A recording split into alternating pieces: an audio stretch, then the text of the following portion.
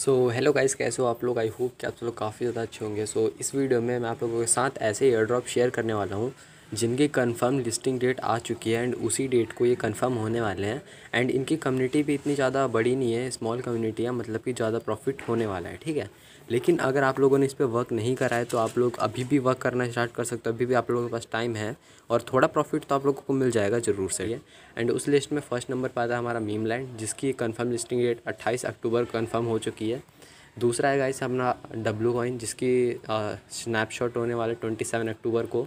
तीसरा है टोमाकिट ऐप, जिसकी थर्टी वन अक्टूबर को कंफर्म लिस्टिंग डेट है। इसकी थर्टी वन अक्टूबर को कंफर्म ये लिस्ट हो जाएगा।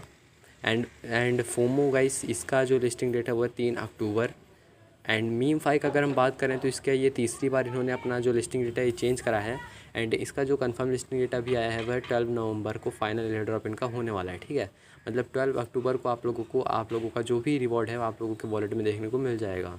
एंड टॉन कॉम्बैट, इसका जो है आप लोगों को पहला एयर ड्रॉप स्नैपशॉट आप लोगों को तीस अक्टूबर को देखने को मिलने वाला है जैसे कि आप लोग यहाँ पे देख सकते हो, ठीक है?